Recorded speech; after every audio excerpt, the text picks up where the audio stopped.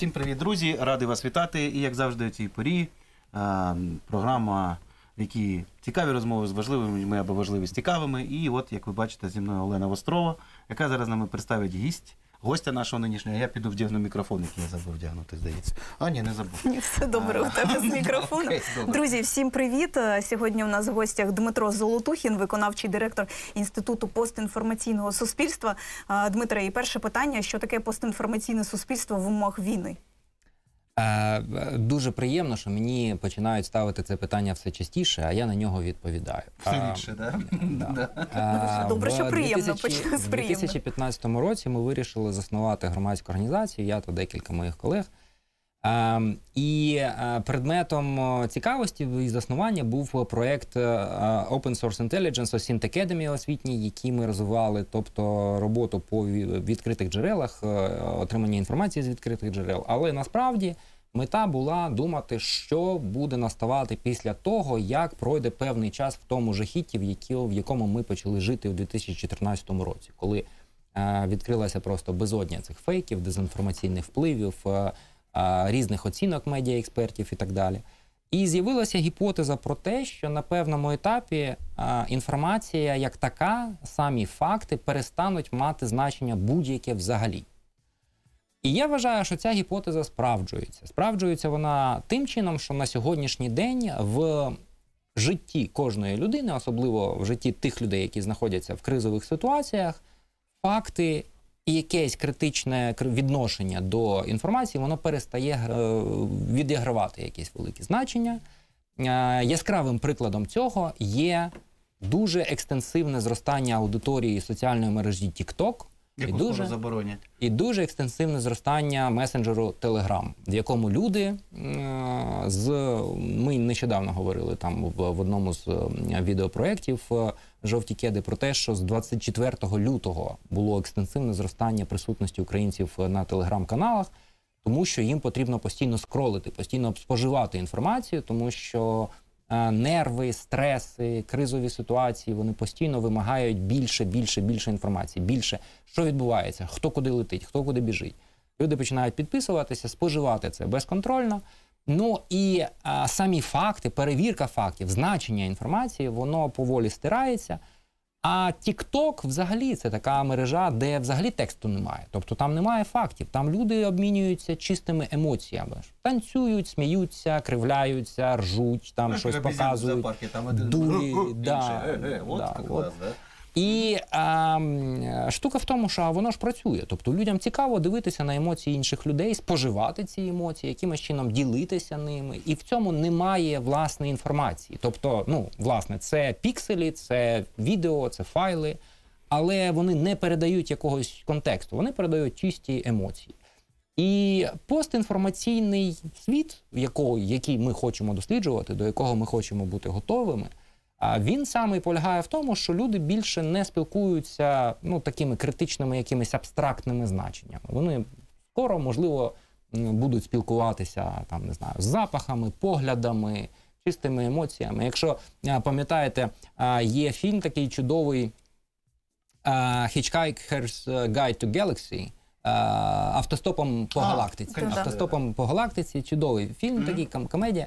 І там в цій комедії є епізод, коли а, якийсь винахідник винайшов а, а, ружжо, яким а, домогосподарки стріляють своїх чоловіків для того, щоб вони занурилися в їхню психіку і нарешті зрозуміли жінок. Там такий красивий епізод. Ну, от я вважаю, що невдовзі щось може подібне буде придумано. І а, зараз ми знаходимося в переходному такому а, періоді, а, який є дуже небезпечним, тому що все фактично, вся історія людства, вона а, відбувається абсолютно поруч з розвитком маніпулятивних технологій. А, те, що називають рефлексивним контролем. Потім люди почали використовувати екстенсивно слово пропаганда, дезінформація. В цьому році в нас з'явилося, прости господи, ІПСО, всі стали ІПСОкати. Е, Ну, може, в наступному році щось іще ми продумаємо. От зараз, наприклад, мені е, кажуть, що е, European External Action Service це, ну, по суті, Міністерство закордонних справ Європейського Союзу. Вони придумали ще один якийсь термін, тобто foreign influence, там щось ну, Foreign influence. Інагент? Да, ну, ну, щось постійно, тобто, ну, якби для цього є фінансові кошти, це донорські вливання, це е, бюджети, це ну, власне гроші європейських і західних платників податків, які використовуються на дослідження і зміну цього. А з цим треба змиритися, на це треба ну, прозоро дивитися, тому що ми шукаємо. Як казала моя мама, раз перебирає, значить знає, що шукає. Ми знаємо, що шукаємо. Ми хочемо, щоб нам було зручно і щоб одним словом оз- означало все. Але в цьому є дуже серйозна загроза, тому що а, люди зараз споживають інформацію безконтрольно, і це навіть не сама загроза. Загроза в тому, що вони потім приймають рішення безконтрольно, безконтрольно споживаючи інформацію, яка може їм зашкодити, починаючи від а, голосування на виборах, закінчуючи навчанням своїх дітей чомусь там, е, що правильно, що неправильно, закінчуючи холіварами цими срачами безкінечними на Фейсбуці, які нічим, окрім е, фрустрації, не закінчуються. Е, Тобто, власне, весь цей комплекс проблем це для мене є предмет досліджень, які я з різною з різним ступенем успіху веду вже дуже багато років. А чому ви виділили саме TikTok і Telegram? Чому не YouTube і Instagram? Е, Ютуб і Інстаграм це вже застаріваючі соціальні мережі. Е, Справа в тому, що дуже велика чисельність е, людей молодого віку зазвичай пояснюють, чому вони обрали одну платформу на заміну іншій. Вони кажуть, а чого я буду якби знаходитись там і публікувати свій контент там, де знаходяться мої батьки і мої дідусі, бабусі. Навіщо мені, типа, з ними бути в одному інформаційному Ні, це ти просто зараз про YouTube і про Інстаграм. Ти впевнений насчет застарівання? А, ну, скоріше за все, воно люди здебільшого говорять це про Фейсбук, звичайно. Ні, та Facebook люди, я погоджуюсь. Люди обирають інстаграм. Ну я спи на- Фейсбук Фейсбук є не на щоб ми да, його. Да. Просто YouTube зростає, зверни увагу. Ютуб зростає, Особливо але завдяки зараз тому, що вони зараз почали е, конкурувати в плані цих коротеньких відеорілсами. І ти не забудь, що Да, Білий Дім да, сьогодні, от буквально прямо як спеціально для пана Золотухіна. Сьогодні Білий Дім заявив, що він підтримує. Законопроект в Конгресі того самого республіканця, е, чий законопроектом вже заборонили TikTok для державних службовців в Америці. А тепер вони підтримують законопроект Білий Дім, тобто Байден, тобто президент, підтримку заборонив взагалі Тіктоку в американському е, цьому. Ти ж розумієш, що це викличе, ну скажімо так, це знаєш, як е, колода карт. Ту-ту-ту-ту-ту. м'яко кажучи, бадхюрт. Я думаю, що в Європі буде те ж саме дуже скоро. Ну вже у держслужбовцям на роботі заборонили користуватися. А значить, я був правий, що не заводив TikTok. Вибач, да. Ну, я тоже так хочу сказать. А Значит, а вот, э, Але это все придумал Золотухин в 18 году. Я пам'ятаю, коли... 18 Ем, В здається, 2017-му, я коли я був на посаді заступника міністра інформаційної політики, я був на одній з конференцій, чи це було вже в 18-му, а, на одній з конференцій, здається, в Празі. А, і а, після конференції був ем, такий невеличкий е, кавабрейк, фуршет такий. І це був якраз той день, коли е, Рада національної безпеки і оборони прийняла рішення, затверджене президентом, про заборону ВКонтакті і однокласників. Це як 17 рік. Як зараз 17-й. пам'ятаю, весна 17-го року точно. І кожен дипломат на цьому фуршеті, кожен європейський дипломат, а їх було чоловік 40. Так. Вони вистроїлись в чергу до мене, і кожен дипломат вважав за потрібне підійти до мене і сказати: Фу-фу-фу. Дмитро, демократичні держави так не роблять. It's Це right, неможливо. Це, це свобода слова, це наша демократія. Ви ж хочете бути демократія? Я хочу бути демократією. Ви ж хочете бути в Євросоюз? Я хочу бути Євросоюз. Ну не можна забороняти соціальні мережі. А знаєш, що тобі треба було сказати? Будь ласка, до Байдена. І тоді все буде. Да. Як Зеленський Е, робить. Там завжди, там завжди якраз е, були е, люди, які задавали конкретно таке питання.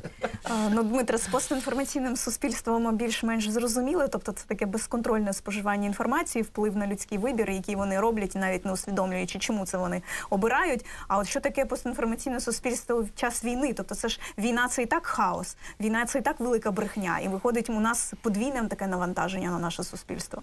Ну я б його не розділяв. Це просто ситуація, яка е, ну є ситуація вкл включено, а є ситуація вкл-вкл, коли включено включено. Тобто я думаю, що у нас просто зараз ми робимо все те, що і завжди, тільки ну споживаючи більше. Просто ми знаходимося в е, такому зміненому стані постійному, який вимагає від нас постійно щось робити. Що це означає? Це означає, що якщо ти читаєш і тебе щось торкає, то не просто ти повинен якось це відчути. Ти повинен натиснути там поділитися або переслати друзям, або тобто воно вимагає від тебе постійної дії. Тому що тільки дія може якимось чином людину заспокоїти, коли вона знаходиться в такому психологічному розібраному стані. І а, оця гонитва, оце постійне натискання лайк, поділіться, лайк, поділіться, воно призводить до того, що дійсно операції, які проводяться іноземними спецслужбами, російськими спецслужбами в е, Україні, вони призводять до того, що здійснюються екстенсивні вибухи цієї інформації. Тобто люди постійно починають про це говорити, а це загроза, це, мабуть, і ПСО, це, мабуть, операція, це треба поділитися, треба обговорити, або ужас, ужас, значить, розпяли мальчика, ужас, ужас, яйця по 17 гривень, і воно котиться, котиться, котиться. І е, саме е, я вважаю, що важливо розуміти мотивацію людей, чому вони так роблять. Не тому, що вони дурні, не тому, що вони погані. Просто така психіка а, у людини, як у виду просто еволюційного, яка його спонукає захищати себе. І саме дослідження постінформаційного а, суспільства, ну скажімо так, це такий трошки синтетичний термін, який вже є в академічному суспільстві, але з моєї точки зору е, є дуже великий шмат якби інформації про це саме в маркетингу. Є книжка відома Мартіна Лінстрома Правда і брехня, чому ми купуємо Truth and Lies about why we buy. І там проведено дуже багато досліджень, е, описаних в цій книзі, е, коли людям підключали е, якісь датчики до головного мозку і показували їм різні картинки. І дивилися, що люди, на що люди реагують. Ну і власне за таким же самим принципом працює той самий мерчендайзинг, і коли люди виставляють продукти в супермаркеті, де поставити на початку в кінці, на поличці, чи внизу, чи вверху. Тому що більшість рішень дієвих людина робить емоційно, вона не може собі пояснити. Ну, це і з іншого боку, це е, наш еволюційний захист від е, дискомфорту, якимось чином для того, щоб не задумуватись е, над тим, що, що ми робимо. І весь цей комплекс тепер перенісся в індустрію уваги. Зараз найбільшою валютою у світі є людська увага. Е, Не купують, не продають вже якісь послуги. Головне, щоб ти постійно дивився там, скролив цей TikTok, дивився цю рекламу е, і так далі, тому подібне. І саме ця індустрія уваги вона побудована на чисто емоційних важелях, які впливають на людину. А в період війни людина просто стає набагато більш вразливою, і ця вразливість в неї ще більше розширюється. Тобто, якщо ми робили, наприклад, за період часу мирного там за годину 10 дій, наприклад, в своєму житті там поділився, почитав щось, там пішов чайку, кави попив, то тепер ця кількість збільшилася. Тепер е, наша психіка е, і цей дискомфорт, цей стрес нас штовхає до частіших дій, більше ділитися, більше споживати інформацію. Я вважаю, що це є причиною того, що аудиторія телеграму настільки екстенсивно зросла. Це нормальні емоції людини: страх, бажання себе захистити, бажання полегшити свої страждання через постійний стрес і так далі. Ну там є ще одна причина дуже проста, насправді дуже елементарна в Телеграмі. Люди втомилися від, ем, якщо говорити про Фейсбук, то люди втомилися від е, того, що тобі нав'язує стрічка. Тобто, грубо кажучи, ти регулюєш в Фейсбуці те, що тобі буде показувати? Ні. В Ютубі ти регулюєш те, що буде показувати? Ну, в певному сенсі так, але в певному сенсі ні. А в Телеграмі у тебе нема стрічки. У тебе канали, на які ти підписався. І там іде оновлення. Тунь, тунь, тунь, тунь, тунь, тунь. Я думаю, це теж, до речі, не в останню чергу причина, чому чимало людей тут пішло, і це дуже погано. Насправді, тому, тому що там я взагалі не розумію. Анонімний телеграм-канал, і люди кажуть, клас, цікаво, хороший канал. Я кажу, чувак, а кому він належить? А в смислі? Кажу, ну ти, ти, там же анонімний. Ой, а я не подумав. Що? Це не передбачає. Це, звісно, подумав. Найчастіше це викликає е, знаєш, такий ефект, коли ти сковородкою по голові так. Кажу, Такий канал, такий, а кому? А, а, ой, дійсно, як так? А, Ой-ой-ой-ой. Ну ладно, це таке. До речі, росіяни цим дуже добре користувалися. Мені от дивно, як вони, до речі, до речі, я хочу сказати, що в цьому плані ми дуже ефективно спрацювала і українська спільнота, в тому сенсі, що як швидко в більшості були виведені з гри е, російські теле- телеграм Всі ті там резиденти, там легітимні, які вибудовувалися спеціально під 24 лютого. Я, чесно кажучи, не впевнений, що впевнений? ви, ви, ви виведені. Тобто їх читають що, в Україні все одно? Вони могли перейменуватися, трансформуватися. Мені здається, індустрія змінилася з точки зору, що тобі треба мати своє власне медіа, мікромедіа, як телеграм-канал, для того, щоб просувати свій наратив, свою точку зору. А зараз ти можеш що завгодно купити. Заплати 3 тисячі доларів, постав І? свій текст на будь-якому телеграм-каналі. Хочеш труха, хочеш там легітимний, хочеш ну, ну Бачиш, людина все знає, що не труха, а труха, а багато Мені, не знає. мені нещодавно це сказали, і мені сказали, ти розумієш, це типа то тру Харків, він- там виявляється ще легенда є. Я взагалі думав, що це типа, ну Труха, е, типа, ну, да. від Труханов Труханова, може, да, від Труханова. А воно просто слово тру. Труха. Я, от- я теж був в шоці, коли це Друзі, тру це правда. А можна як, як от їх заборонити, як думаєш? А? як в Росії. А, я думаю, що це е, технічно це можливо, Нереально. тому що СБУ доповідає, що вони там змогли заблокувати ряд групи телеграм-каналів, е, які використовувалися для. е, Просування наративу для уклоністів від мобілізації, що там де дають повістки і так далі. До речі, ну всі те- більшість телеграм-каналів, де дають повістки, я думаю, 95% вони саме ведуться головним розвідувальним управлінням Міністерства оборони Росії. Звісно. А, і благополучно це там у них виходить. Але СБУ звітує, що вони домоглися закрити От ряд, як? е, ряд, ряд каналів. Я вважаю, що це комунікація з компанією. Ага. Компанія Telegram, наскільки мені відомо, зареєстрована в американській юрисдикції. Не швейцарський. не. А, а, є AG, е, яка зареєстрована в Швейцарії, але в зв'язку з тим, що е, у Павла Дуверова насправді ж був величезний проект запуску власної криптовалюти, в який був, були готові інвестувати величезні кошти і російські, і західні олігархи.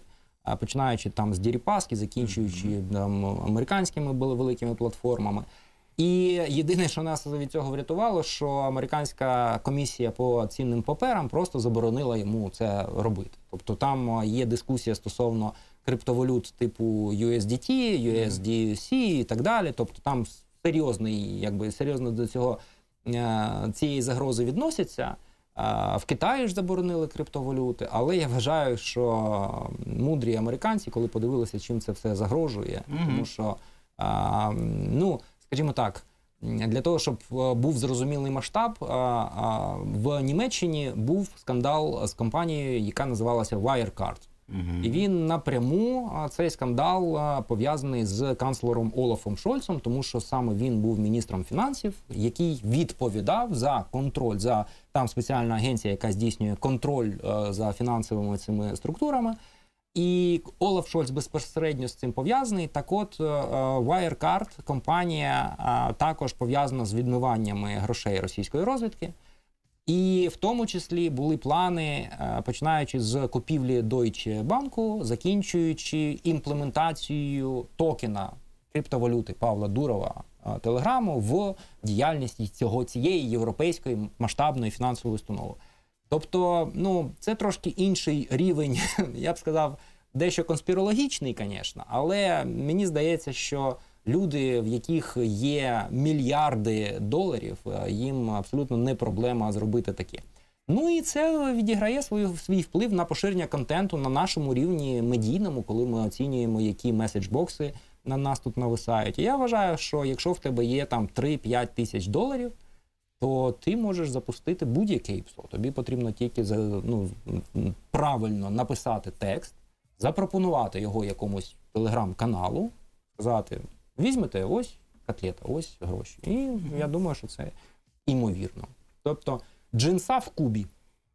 Коротше, ми в ЗМІ, знаєш, нервово курять в сторонки в даному сенсі, звісно, вже давно. Що мене, до речі, дуже радує. Я, до речі, вважаю, що Телеграм це великий шанс для ЗМІ. Е, тому що от е, надмір от цих соцмереж, надмір цього, я впевнений, призведе, уже багато в чому призводить до того, що люди починають задавати питання. Блін, ну це просто треш. А де можна нормально, ну, без оце усієї херні? Тут. А Тут, як, а тут, як, друзі. як тоді правильно споживати інформацію в телеграм-каналах? Є якісь- Видаліть телеграм з телефону. Да, да, краще, краще її не споживати взагалі.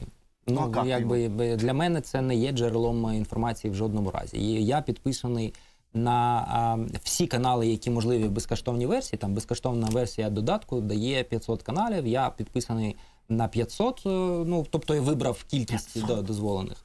А Ти, справа ти, в ти тому, правда вони... все це дивишся? Я його не дивлюсь, вони просто для мене сегментовані. Я спостерігаю за тими. Це я ж е, з цим працюю ще з 18-го року. Ми в 18-му році почали перші круглі Мгм. столи по цій, по цій темі проводити. І за допомогою пошуку, я це часто розповідаю на своїх е, тренінгах по Сінту, е, за допомогою пошуку, вбудованого в сам Телеграм, і в десктопну версію, і в мобільну. Е, По ключовим словам, якщо ти призвичаєшся до цього, ти вибираєш там якийсь хайповий випадок, там не знаю, там якісь ключові слова, там Буданов, е, там Путін, Манікін, і- Ну, що завгодно. що завгодно. І ти дивишся, хто про це написав. Дуже е, часто ти бачиш, що це ну схоже на органічну історію. Да? Тобто хайп, і всі починають за це кидатися. А є багато випадків, коли страпляється якийсь нішевий е, кейс, нішевий хайп, і ти дивишся, і про нього пишуть. Або, наприклад, група телеграм-каналів, які є обґрунтовані підозри, що вони контролюються головним розвідувальним управлінням Росії ГРУ. Мгм. А є група телеграм-каналів, які контролює Крися Патупчик, яка значить, керувала блогосферою в, в адміністрації президента Росії. Зараз працює на Кірієнка. Є група телеграм-каналів, е, які належать. е, е, Дуже цікаво українським е, е, чернушникам, е, Мгм. які займалися чорним піаром, які продають свої послуги в Росії, і в тому числі в, ну, виконують свою проукраїнську місію, валять одну башту Кремля е, на в інтересах е, інших. Тобто, Like. Да, там е, є Like share. я навіть, точно зразу, навіть да. в сфері чорного піару є місце для патріотизму. Ще й оплачено грошами російських платників, ну яких там платників, не платників податків. Продовжуємо нашу розмову з паном Дмитром Золотухіним. Виконавчим директором Інституту постінформаційного суспільства. і екс-заступником міністра інформаційної політики, і може навіть наступним чи майбутнім. Підеш знову на держслужбу?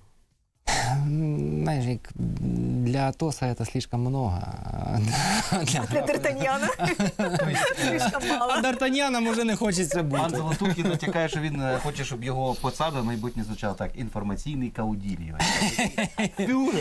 Ми, ми придумали краще, знаєш, коли кажуть, якщо у нас же ж будуть кібервійська, а як же ж ми будемо їх очолювати? Ми кажемо, давай або кібінерал, або кібералісімус. Е, Кібінерал, це якось, знаєш, от, мені постіронія. Хорошо, мені подобається. Кібінерал. Ах, ти кібінерал, да. Сорян. Ну, От е, прошу. про інформаційну політику тоді поговоримо. Дуже так органічно перейшли на неї. А, Через кібінерала, да? да. Окей. А, якщо брати оці всі та наші сим- симптоми і тривожності, і неврозності, і агресивності в плані споживання інформації, дійсно людям лю- ну, психіка людська так влаштована, що вона шукає якісь ліки від цього. А, той створений єдиний марафон. Чи не є для багатьох він саме тим місцем, куди людина просто приходить для того, щоб заспокоїти свою психіку? Вона споживає цю інформацію, вона розуміє, що це надійно, що це йде там з перевірених джерел, Все хорошо. залипає, да, споживає, і там, тим паче, на цьому єдиному марафоні, в принципі, немає ніяких таких мобілізаційних наративів. Особисто я вважаю, що єдиний марафон провалив повністю мобілізаційний наратив в Україні з Арістовичами і да, і зараз там Буданов, Арістович 2.0, які постійно розповідають, що війна закінчиться ось ось в травні. Ой, от от Путін Ну, умрет, ось, самка. ось побачите, ось почуєте. Розумієте? Плюс всі ці тарологи, астрологи. Так, і е, от що можна сказати? Це є виходом для цих людей? Це в плюс, чи це в мінус? Як от Е, феномен цього давайте, єдиного е, марафону е, розглянути в цьому Давайте, контексті? якщо у нас час є, я зроблю велику відповідь, довгу і структуровану. Значить, я нещодавно стикнувся з тим, що ем, в спілкуванні з представниками державного сектору, особливо з людьми, які займаються ем, інформаційною політикою і взагалі цим сектором, треба говорити чітко розрізняючи терміни, тому що. По-перше, в нас є категорія діяльності, яка дійсно називається інформаційна політика. І ця категорія діяльності описана в, як мені сказали, е, ну я це знав, але просто що аж настільки, якби до букви закону, вона описана в статті 3 закону України про інформацію. А, і в цьому законі, в цій статті написано там, що е, інформаційна політика це авто, мото, велофото, мебля, гребля і охота, інформаційна безпека і, і надання доступу вільного до медіа і так далі, тому подібне. Так от е, Набір слів. інформаційною політикою займається Міністерство культури та інформаційної політики. Далі. Категорія комунікації. Комунікації це процес двосторонній, коли ти людям щось кажеш, а люди тобі якийсь фідбек дають. Це має робити уряд, це називається урядові комунікації або кризові комунікації. У нас зараз є криза, тобто воєнний стан. Ми займаємося кризовими комунікаціями для того, щоб донести ідеї якісь до аудиторії. Далі йдемо. В нас є піар. Піар це обслуговування конкретних організацій та людей для того, щоб вони покращували свою репутацію в конкретно обраній цільовій аудиторії. Для чого? Для, наприклад, перевиборів, для покращення рейтингів політичних і так далі. Тому подібне. І ще можна виділити, ще у нас є медіа робота, тобто робота в сфері, в сфері медіа, в сфері журналістики, як функціонують медіа, як їх регулювати, чим вони хороші, чим погані, і так далі. Тому подібне. А, і як виявилося, у нас а, ці речі постійно міксуються між собою, а, і люди одну сферу діяльності називають іншими словами і так далі. Тому подібне. А, і от постає питання: телемарафон це інформаційна політика, це комунікація чи це піар? Піар. Все, все разом. Здебільше. Ну, По ідеї. власне, з цим я згоден. Це, Да, тому якщо що- чесно, для мене це якась е, передвиборча кампанія Володимира Зеленського. І не Єдиний тільки, марафон. Не тільки Володимира Зеленського, ще й Ну там же ж показували тих там б- б- б- Кирило Тимошенко О. часто відкривав дороги, там мости і ще щось. Кожного дня треба було, щоб він був Подоляк. там от, да, М- Михайло А це не команда Зеленського? Подоляк. понятно, що. А, Ну б- б- б- Зел- Зеленський є верховним головнокомандувачем. Я вважаю, що створення єдиного телемарафону абсолютно логічно можна пояснити роллю верховного головнокомандувача. В період воєнного стану президент країни, голова держави стає верховним головнокомандувачем. Угу. Якщо верховному головнокомандувачу потрібен інструмент донесення своїх думок до своїх, значить, підлеглих і до народу України, він має право на цей інструмент для забезпечення комунікації зі своїми підлеглими, наприклад, для того, щоб е, військо розвивати, наповнювати його, для того, щоб захищати цивільних. Я за те, щоб у Зеленського був єдиний телемарафон. Але проблема Але вигляді є одна. піару. Да, проблема є одна. А, в комунікації, взагалі в сфері стратегічної комунікації, а, є таке поняття як мета стратегічної комунікації. Чого ми хочемо досягти? Чого хоче досягти єдиний телемарафон, мені на даний момент невідомо. Чи є якісь речі, які ми можемо поміряти? Наприклад, там ми хотіли, щоб до війська мобілізувалося, прийшли волонтерами до військоматів там 100 тисяч людей, або скільки, або 200, або 300, скільки, скільки треба залужному, щоб стільки прийшло. І потім ми провели рекламну кампанію чи якусь соціальну кампанію за допомогою телемарафону, тому що це єдине джерело на телевізорі. Ну не єдине, але найбільш потужне зараз. І І кажуть, що зараз йому теж на телевізорі, між прочим. а, і кажуть же, що, що якби і е, пан Ткаченко, і пан Подоляк кажуть, що йому дуже довіряють. От мені цікаво, звідки Ростет ця інформація береться. Ну, Ну, ладно. припустимо. Припустимо. Припустимо, що йому довіряють. Окей. Але а, якби у нас була мета, і ми б тоді сказали: дивіться, в нас є інструмент. Ми цей інструмент використали для того, щоб провести соціальну кампанію по залученню людей добровольцями до війська. Ну от е, гвардія наступу. Гвардія Напевно, наступу. можна буде виміряти. ЗСУ, чого у нас чомусь гвардія наступу, у нас Нацгвардія може робити інформаційну кампанію, а ЗСУ у нас тільки почали крутити по радіо, типу, захисти своє. І то, ну якби в гвардії наступу найбільш така структурована, якби і зовнішня рекламна кампанія, і взагалі е, стратегія видима.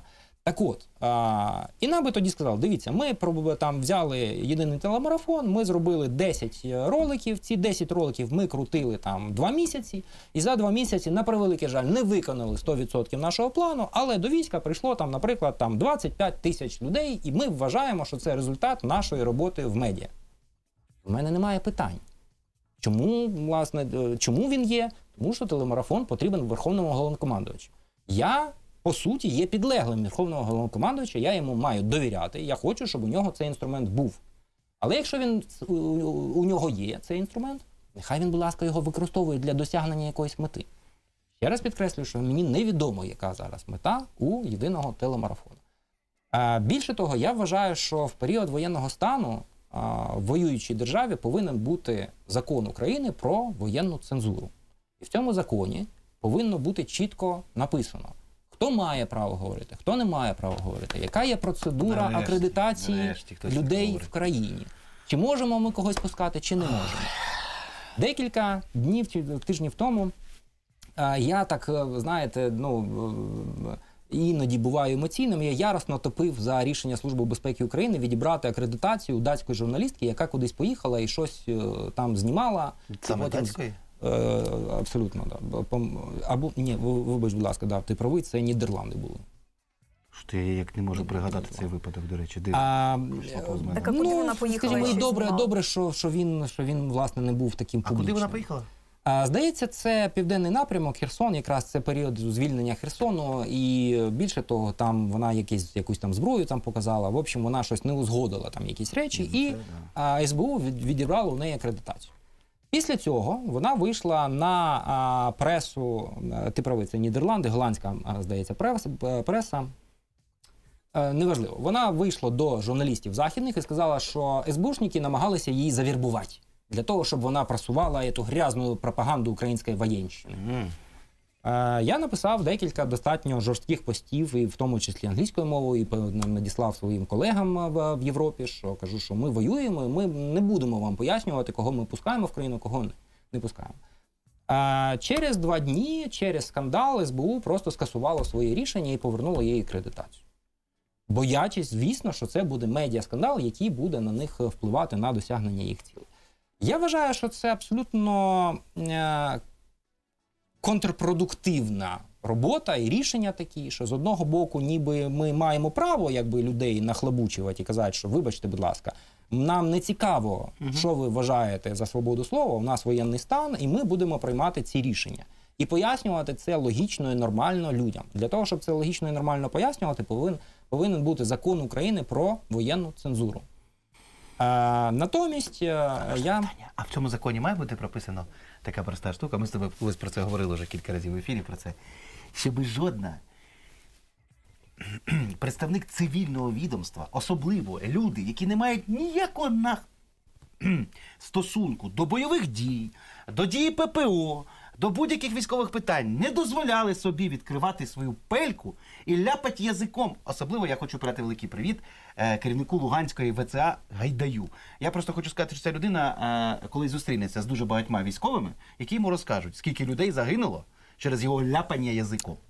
Я Е, вибачаюсь. дивись, Sorry, просто не можу про це е, черговий раз не є, відмітити. є важливий момент.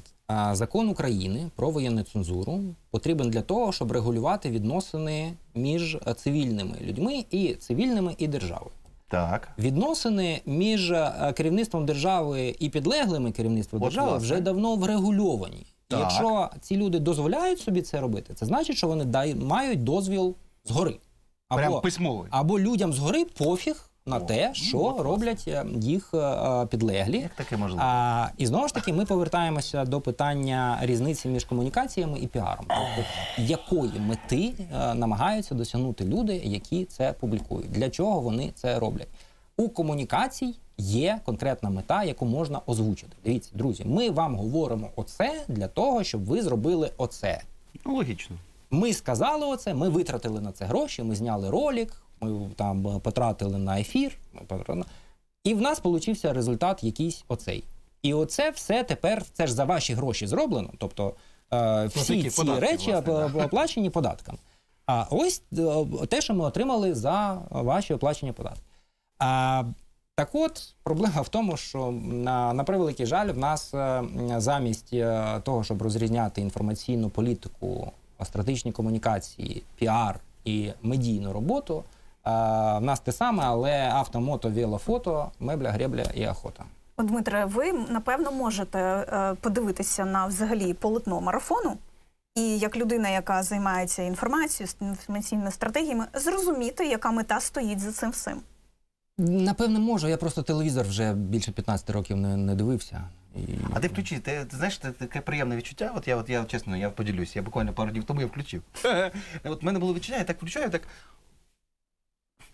Як знаєш, кашкою запахла, яку я в дитинстві кушав. Слухай, ну а менше з тим, дивись, а я хочу, е, може, такого не можна в ефірі, якби казати Можна. одного телеканалу про інший, але я, Треба, наприклад. треба. Я, наприклад, мені а, от е, ти будеш дивуватися, але а, є певні серйозні зрушення, наприклад, в картинці теле, телеканалу Freedom. Я не дивлюся його, я іноді Я його тебе чимось важким. я іноді його вловлюю, коли я, я заходжу Це в теж Укрінформ. російськомовний, так?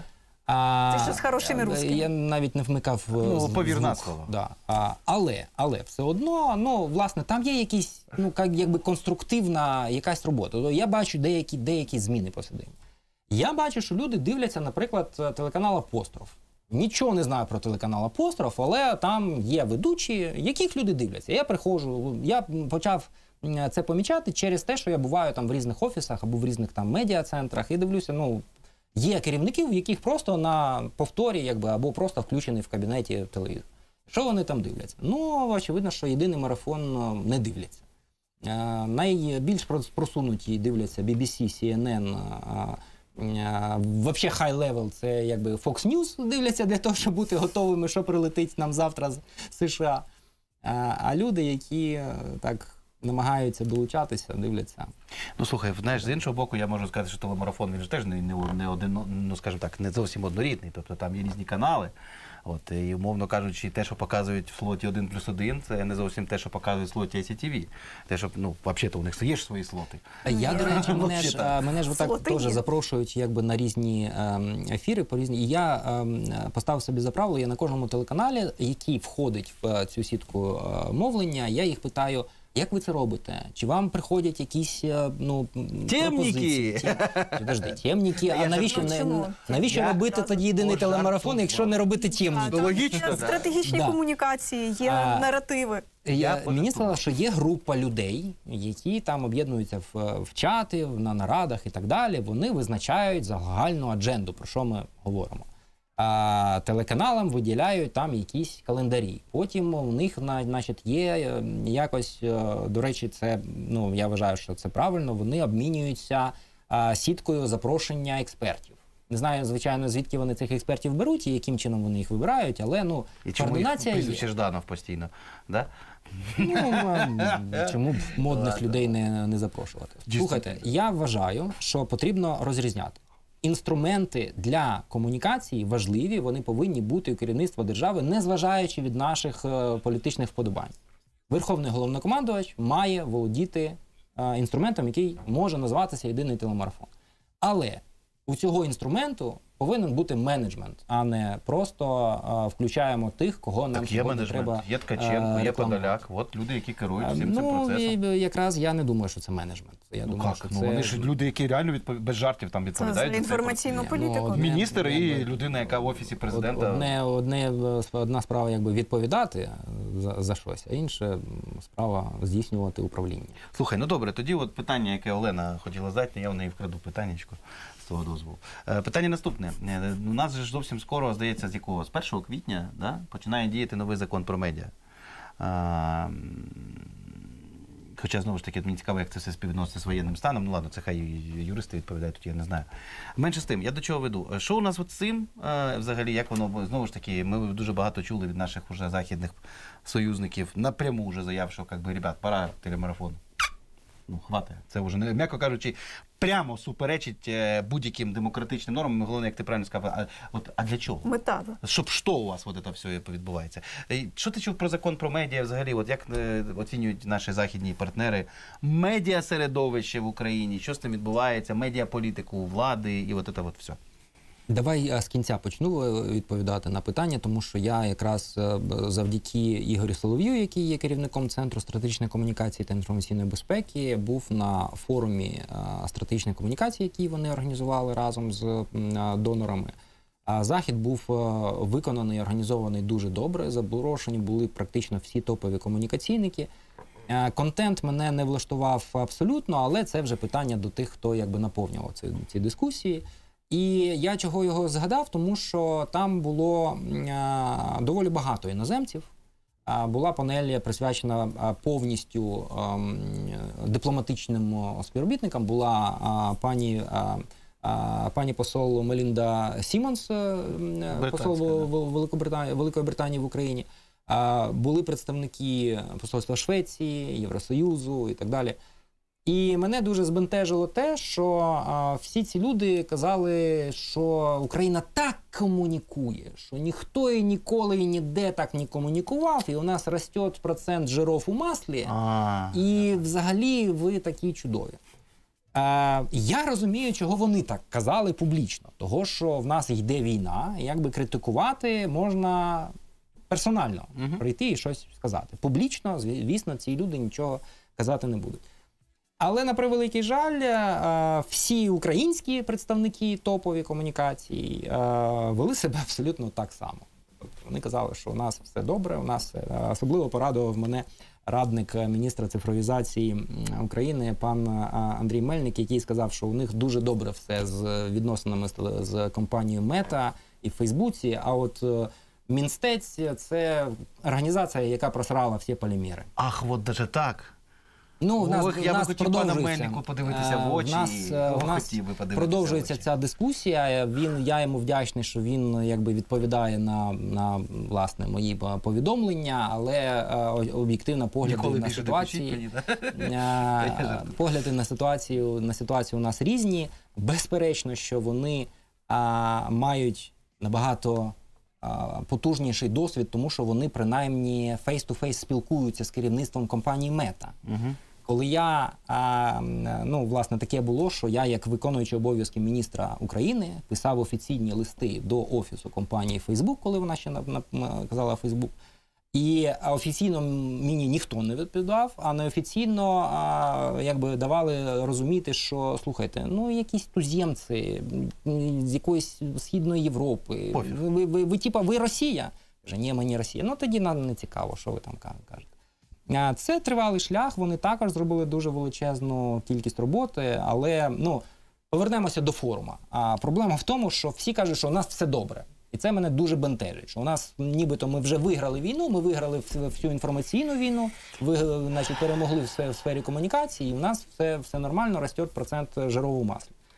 Я погоджуюсь з тим, що всі ці люди вони є дуже професійні. Наприклад, виступала пані Дар'я Зарівна, радниця Єрмака. керівника а, да, голови Ні, ну, офісу Єрмака. Її- його офіційний прес-секретар. і Я впевнений, що вона дуже професійна людина. Вона дійсно, вона реально професійна. А А те, правда, що вона веде телеграм-канал один з а слухай, е, я Ну, скажи вважаю чесно, 90... скажи, я, скажи я не питав. чесно, А. я вважаю, що 90% вірогідності того, що це вона придумала спілкуватися за допомогою емоджі на Твіттері і Телеграмі. Оце що мем, якби мем, що у Єрмака забрали клавіатуру. Е, якщо це так, я вважаю, що, що це вона придумала в, в цьому контексті. Якщо це так, це геніальне рішення, яке будуть брати на озброєння м, велика чисельність е, міжнародних політиків. Тобто я вважаю, не що це от саме це і є якби частиною постінформаційного суспільства, коли люди да? перестануть. Це ж дуже смайліками. Буде, будуть емодзі, будуть, будуть смайліками е, Байден користуватися. з Цзіньпінем будуть один одному бомбочки відправляти, да? Я так розумію, да? Тому, тому що, тому що Ясно, а, ясно. А, це не накладає на тебе обов'язки. Ти не повинен відповідати за свої слова, тому що ти нічого не сказав. Ми відповідаємо за те, що ми говоримо, Да. але ми От так не ми до ядерного як ви це сприймаєте. От так ми до ядерного апокаліпсису да. Да. Тому що це дає можливість сказати все, що завгодно. Або ти будеш думати сказати, що ти сказав все, що завгодно, а інтерпретація емодзі це вже на боці аудиторії. Я вважаю, що це геніальне рішення. Я, це до того, що в Україні дійсно величезна кількість е, геніальних і професійних комунікаційників. Але я повторюю, що одне, одна справа якби відповідати за щось і е, генерувати якісь рішення, а інша справа здійснювати управління галузю. Бо комунікації, стратегічні комунікації це сфера державного управління. А сфера державного управління це певна системна структура, яка має ну, якимось здобувати якісь результати для всієї Держави. для, для держави, для всього суспільства. Піар це також системна діяльність, але вона здобуває результати для конкретних осіб і для конкретних організацій. А всі інші, які якби теж сподіваються, що за свої е, податки вони щось можуть отримати, отримують е, кукіш. Ем, ще один приклад приведу з паном Олексієм Арестовичем, також не вночі будь повинним, якому ми Зараз ми з тобою сваритися почнемо. Я, ти А, знаєш, не треба, не треба. Послухай, послухай жаль. По-моєму, саме час. Дивись, а, а, як цікаво виходить. Коли з єдиного телемарафону і взагалі з топ-адженди якби, медіа пішов Олексій Арестович, утворився вакуум.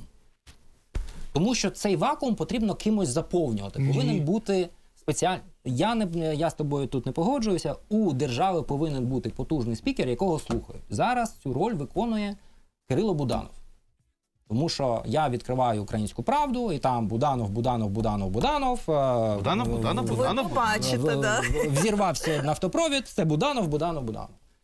Я не впевнений, що роль керівника воєнної розвідки в державі це роль публічного спікера, власне, існуючої політичної сили. У існуючої політичної сили в державі, навіть в період воєнного стану, має бути хтось, який представляє думку повноважених осіб. Згідно українського законодавства, таким, такою людиною, наприклад, є пан Нікіфоров, прес-секретар президента. 100% погоджуюсь. Він чудова, чудовий професійний комунікатор. Чого ніхто його не знімає? Чого в нього ні, ніхто не питає? Може, Чого? тому що не настільки чудовий? Можливо. Ти пам'ятаєш можливо, першу можливо, фотографію? Тому що йому не дали таку функцію. Ви пам'ятаєте Може. першу фотографію пана Нікіфорова при вступленні на посаду? Ні? Е, ну, а я це пам'ятаю. такое, слухай, ну, Ну, коли прес-секретар президента приїжджає і робить от таку фотографію Ну, з е, Пізанської башні, чи, чи, чи, чи ну один раз йому розказали, він більше не буде таке робити. А, ні, я, в- я в ну, якби, все, А другого все в разу- порядку Це було для речей. Тіктока. Так другого разу не треба вже. А, дивись, це залежить від цільової аудиторії. Може, ти просто не входиш до її числа. Я може, тупий, я може, лю- Я лю- тупий люди- старий ідіот, який сидить в Фейсбуці. Я ж кажу, це було або для інстаграму, або для Тіктоку просто. От. Так от, повернемося до питання, коли пішов Арестович, утворився вакуум. Але ва- це не тільки вакуум утворився. А коли е, Олексій Арестович був публічним спікером, навіть неформальним, неофіційним е, офіса президента, це надавало йому е, певний антураж. Це е, казало, що його цитували, з ним знайомилися люди, на нього підписувалися, його цитували іноземні медіа. Це жах. Да. Це накачало його репутацію. Так. Він був офіційно ніхто, але українська держава зробила його людиною, яка е, залучила величезну кількість е, уваги. Тепер Олексій Арестович пішов, утворився вакуум, але не тільки вакуум утворився. Всю репутацію, е, е, всю увагу він забрав з собою. Він забрав Ну, з собою частину тієї роботи, яку робив державний апарат. Частину тієї роботи, яка має ну, власне, підтримувати Офіс президента України комунікаційно, звертати нього, на нього увагу, давати е, поживу для журналістів, для медіа і так далі. Справа в тому, що це трапляється тому, що е, власне ці е, люди показали, що вони інституції не люблять. У нас Мгм. інформаційною політикою в державі керує радник керівника офіса президента. Ну да, Ця це посада подарок. навіть ніде не записана в документі. Але фактично це, це здійснюється. А навіщо нам, якби людина, яка акумулює на себе всі управлінські функції, а коли вона піде, наприклад, або захоче піти, або щось з ним станеться, або може Та йому будь-що. стільки, заплатять, що він скаже: ну все, тепер я на покой писати мемуари. В нас не стане інституції. Ми, ми потім потрібно буде знайти нового подоляка або передати всі ці функції комусь іще. І знову держава буде в стресі. Я ще раз повертаюся до того, що все це не нагадує процес менеджменту. Все І не державного нагадує управління. процес державного управління. Ну, от, власне, єдиний марафон теж спрямований не на те, щоб інституції будувати і людям розвивати державницьке мислення, а на те, щоб якраз сформувати або якісь культи особистостей. Цього я не можу І, за, або да, і зациклювати людей напевне. Зате ти включаєш, і ти зразу теплу ванну попадеш. Все добре, все вже ми перемогли. В травні. Все вже дають гроші. травні вже все буде. зростають надої, причому не тільки у корів, а навіть у биків. Все дуже добре, насправді все чудово. Підвищується відсоток жирів в Жирів у маслі. маслі, да, все як у класика. Е, дякую дуже за розмову. Це був пан Дмитро Золо. Я не знаю, які тут висновки треба зробити. По-моєму, все сказали. Все сказали. Ну, е, можете нас парахаскотом назвати, це теж буде хороший висновок, друзі. Е, Дмитро Золотухін, е, екс-заступник міністра м, інформаційної політики, е, засновник Інституту постінформаційного суспільства. Правильно назвав? Фух, слава Богу. Олена Вострова. І Богдан Буткевич. Побачимось, почуємось. Дякую. Па-па.